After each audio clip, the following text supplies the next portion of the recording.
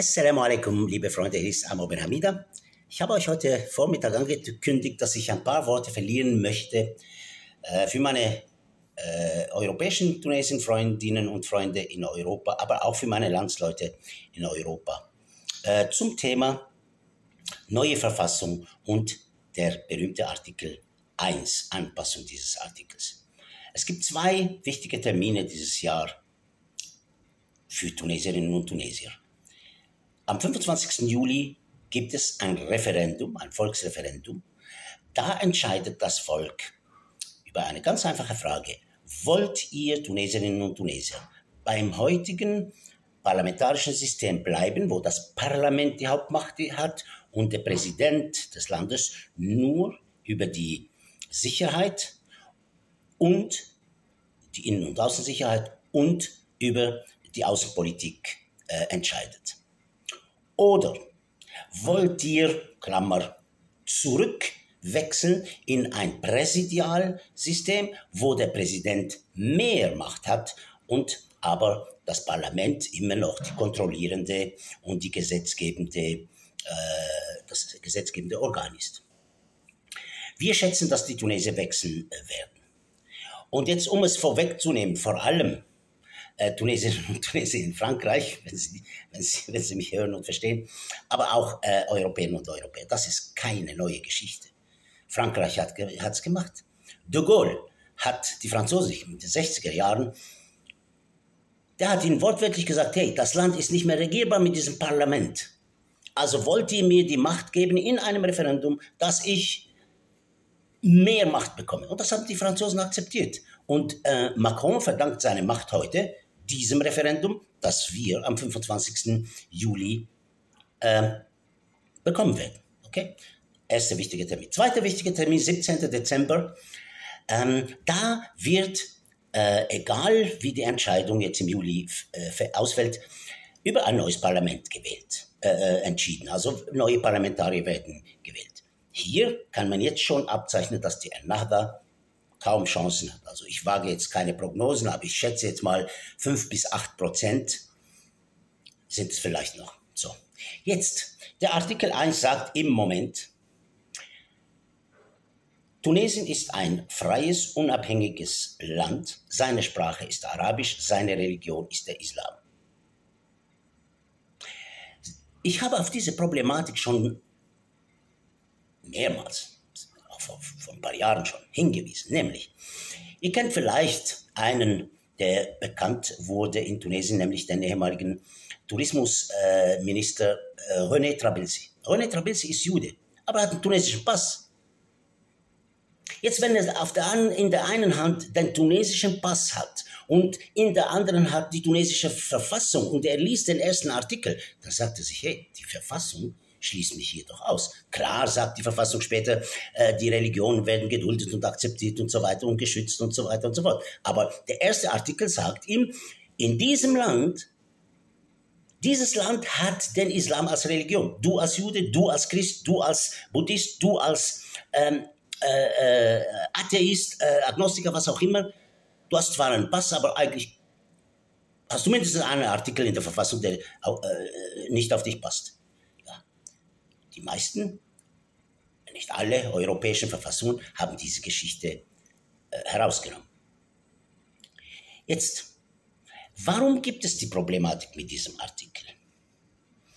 Daneben, dass wenige Prozent, das sind etwa 96 Prozent, sind Moslems und auf die äh, äh, trifft ja dieser Artikel zu. Das Problem mit diesem Artikel ist, dass er erlaubt, zwei verschiedene Gesetze zu haben. Du hast ein Erbgesetz nach ziviler Art und ein Erbgesetz nach Scharia. Wenn du sagst, der Islam ist die, die, die, die, die, Religion dieses Landes, dann bist du sehr schnell, und das macht selbstverständlich ein Nachbar, sehr schnell bei der Scharia. Jetzt nehmen wir dieses Erbschaftsgesetz die Scharia sagt, wenn ein Mann stirbt und er, lässt, er hinterlässt, sagen wir mal der Einfachheit halber, nur einen Jungen und ein Mädchen, der Junge erbt doppelt so viel wie das Mädchen. Punkt. Keine Diskussion. Jetzt, viele haben gemotzt. Frauen selbstverständlich vor allem, mit Recht, denn die Bedingungen für diese unterschiedlichen Anteile sind nicht mehr da. Äh, die Bedingung war, die Männer sind für die Frauen verantwortlich, auch in wirtschaftlicher Hinsicht. Und äh, ich kenne einige Frauen, die ihre Männer unterhalten. Beşiktaş Sipsi kurz vor seinem Tod hat überlegt, wie können wir das lösen, wie können wir das lösen und Gott vergebe ihm. Er hat einfach gesagt, macht was ihr wollt. Ihr könnt teilen nach Scharia oder ihr könnt teilen nach Zivilgesetz 50-50 Mädchen und Junge. Jetzt, wenn es um dreieinhalb Schafe geht und eine alte Hütte, da wird kein Problem entstehen. Aber wenn es um Immobilien, Millionen Bankkonten in, in, in Dinar geht, da ziehen sich die Streitigkeiten Jahre, wenn nicht Jahrzehnte in die Länge. Und die Mädchen sagen, wir wollen halbe halbe und die Jungs sagen, wir wollen zwei Drittel, ein Drittel. Das ist ein Aspekt. Der zweite Aspekt. Wenn du sagst, der Islam ist die Religion der Nation und ähm, äh, Said hat das versucht zu erklären, die Nation und die Umma, das sind zwei verschiedene Sachen. Umma, die Umma, al-Umma al-Islamiyya, das war zu den Kalifenzeiten und zu den Sultanzeiten, ähm, äh, zu, zur Zeit der äh, Ottomanen beispielsweise, das war quasi von Marokko bis Nahe Osten. Das war die Umma.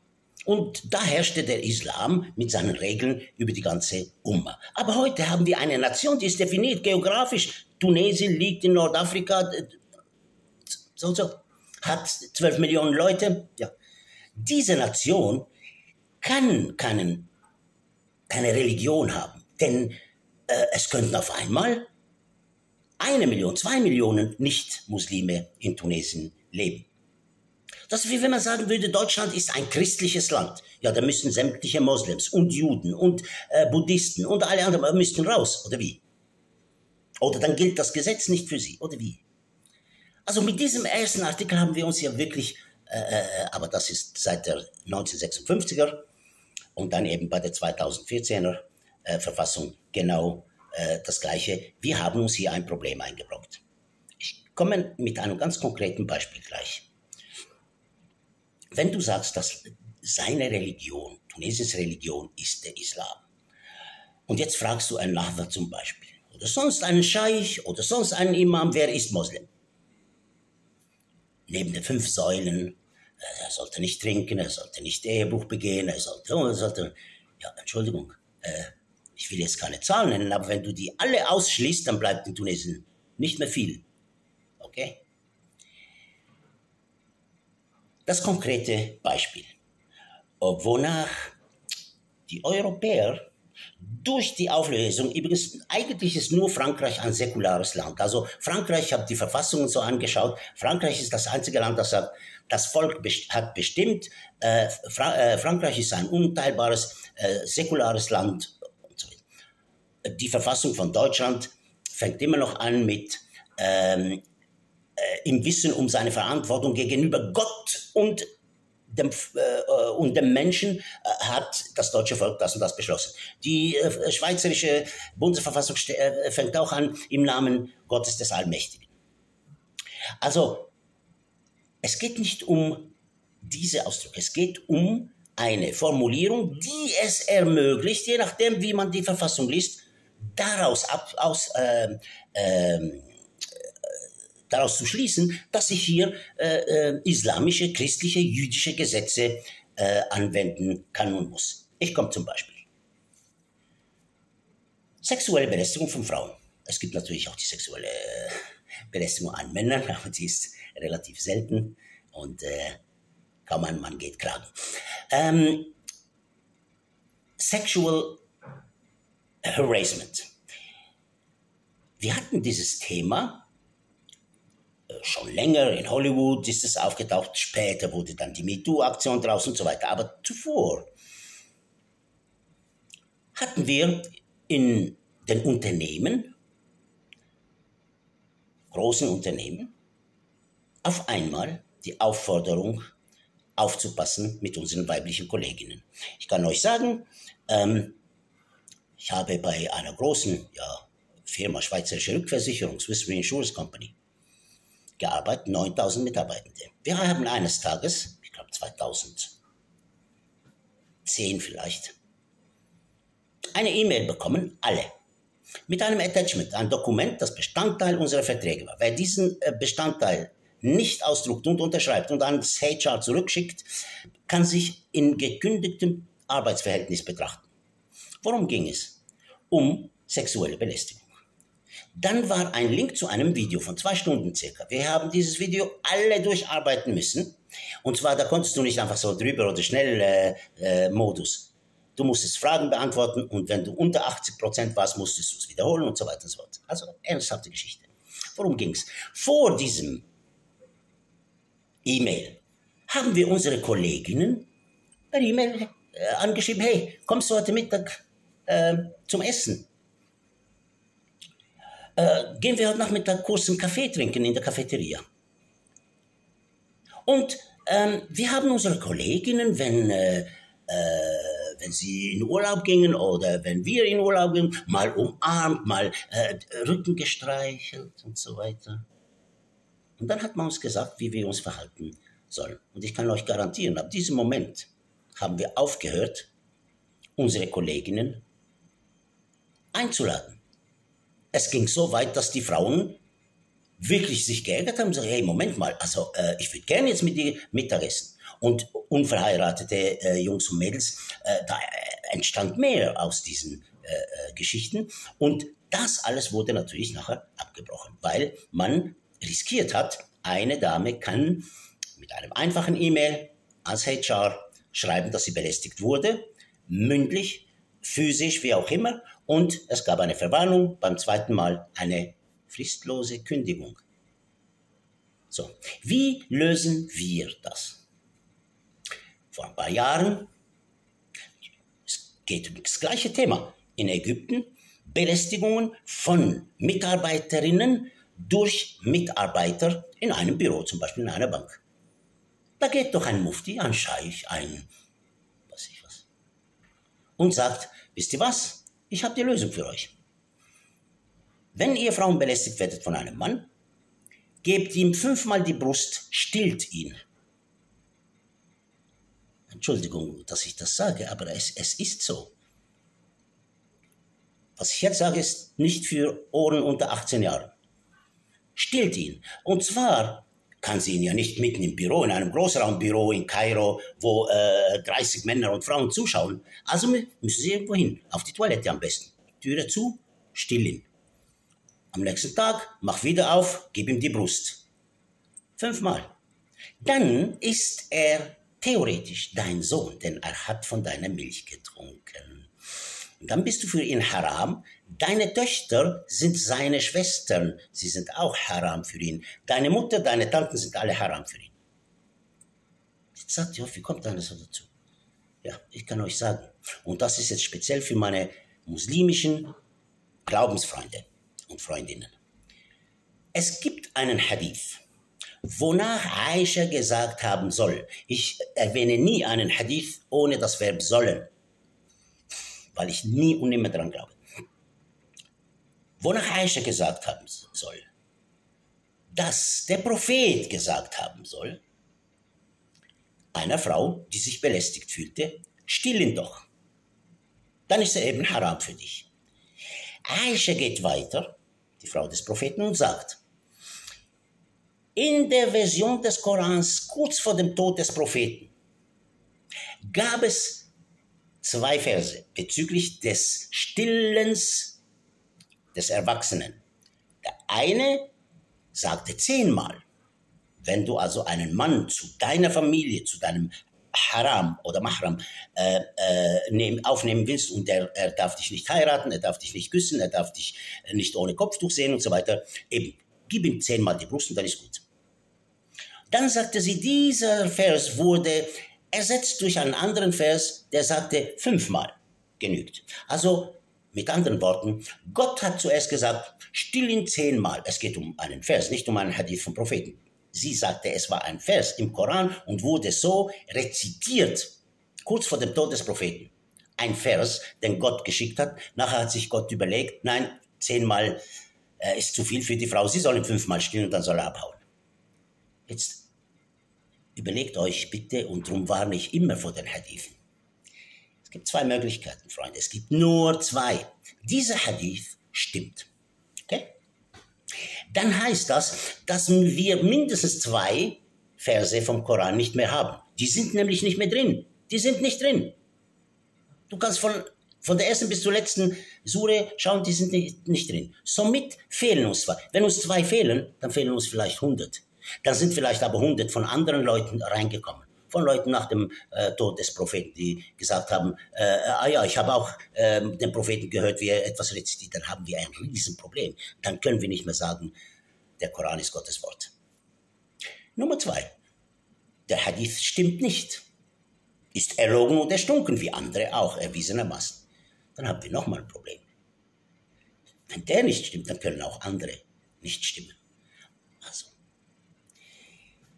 2019 war das, glaube ich, versuchen Muslimen, muslimische äh, äh, äh, Gelehrte in Anführungs- und Schlusszeichen die Probleme des 21. Jahrhunderts mit Gesetzen, mit Traditionen vom 7. Jahrhundert zu lösen.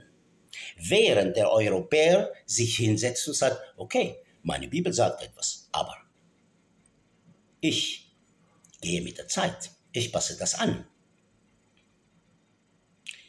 Ich sage euch, in mancher Hinsicht, wenn ihr Afghanistan, Jemen, auch andere Länder seht, sind wir zwischen 100 und 1000 Jahren hinter euch. Weil wir unser alltägliches Leben, wenn ihr die Müllhalde seht, wo wir leben, das ist, weil wir nicht einmal in dieser Hinsicht uns entwickelt haben. Wenn ihr mir jetzt sagt, ja, wir haben, ihr habt ja Handys, ja, ihr habt ja YouTube, ihr habt ja Facebook, ihr habt PCs, ihr habt Autos, ihr habt Flugzeuge. Das sind eure Handys, eure Flugzeuge, eure Autos, eure PCs, eure Software, nicht unsere. Wir haben in den letzten 500 Jahren nichts gebracht der Welt. Weder wirtschaftlich noch politisch, noch kulturell, noch wissenschaftlich. Und ich behaupte, das ist, weil wir für die Probleme der wandelnden Zeit, der sich verändernden Zeit, immer noch die eine einzige Quelle haben aus dem siebten bis zehnten Jahrhundert. Hadithe, und das ist ja nur ein Beispiel mit diesem Stillen, es gibt andere Sachen. Äh, wir versuchen, die Lösungen von heute in der Vergangenheit zu finden. Da sind wir zum Scheitern einfach äh, geweiht. Kein keine Diskussion. Und man sieht es. Jetzt Tunesien hat den Mut und sagt, okay, eine Verfassung kann verändert werden. Die Schweizer stimmen ab und zu über eine Verfassungsänderung. Aber du kannst doch den Koran nicht ändern und die Europäer haben auch ihre Bibel nicht geändert. Die ist immer noch 2000 Jahre alt und die Tora äh, und der Talmud sind dreieinhalbtausend Jahre alt. Die Juden haben ihn nicht geändert, aber ihre Verfassungen sind angepasst. Entschuldigung, wenn ich, mich, wenn ich mich ein bisschen aufrege. Ich sehe nur hier, dass Tunesien wirklich eine Chance hat, sich Gedanken zu machen. Und ich äh, werde dieses äh, Video in etwa den gleichen Worten mal auf Tunesisch machen für meine Landsleute hier. Denn viele sind äh, hinter Kais. Darum glaube ich, dass die, die, äh, das Referendum durchkommt. Aber Viele sagen aber auch, oh, jetzt, jetzt geht er aber zu weit. Jetzt nimmt er uns den Islam aus der Verfassung. Er nimmt nicht den Islam aus der Verfassung, er nimmt nur das Prinzip, dass ganz Tunesien muslimisch ist, nimmt er aus der Verfassung. Schlägt er vor zumindest. Äh, das war das äh, Thema, das ich heute angeschnitten habe. Sorry, wenn es fast 20 Minuten wurden. Für Fragen stehe ich gerne zur Verfügung. Kommentare bitte wie immer über der Gürtellinie. Aber jede kritische Bemerkung nehme ich sehr gerne an. Assalamu alaikum.